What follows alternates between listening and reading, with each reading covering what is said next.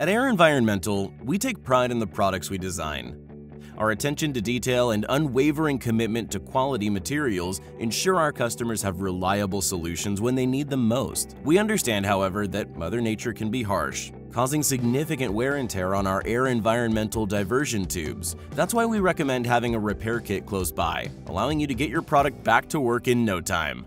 AIRE Environmental diversion tube repair kits include the following one 4-ounce canister of HH66 vinyl cement, one 1-inch glue brush, 6 alcohol prep pads, 3 pieces of 180 grit sandpaper, 1 pair of nitrile gloves, 3 pieces of 6-inch by 6-inch 22-ounce PVC fabric, 1 6-inch by 6-inch 14-ounce stick-on patch, there are two ways to approach the repair process for a diversion tube. First is the temporary stick-on patch. The second option is a glue-on patch. These patches are used on pinholes and holes up to a quarter inch in size. A glue-on patch will be necessary for a more permanent fix.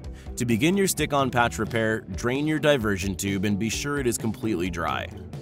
Next, thoroughly clean the surrounding area around the hole with the included alcohol pads.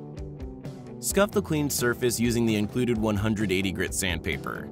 Once the adhesion area is prepped and clean, cut out a rounded patch that covers the hole by at least 1 inch on all sides. To apply the stick-on patch, peel the paper from the back. Center it over the hole and roll onto the surface of the diversion tube. Rub out any bubbles or air pockets and your stick-on patch has been properly installed. To begin your glue-on patch repair, drain and dry the diversion tube entirely.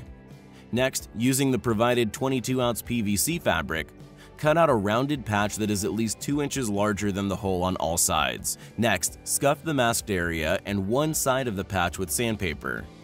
After sanding, clean both the masked area and patch one more time with another alcohol pad.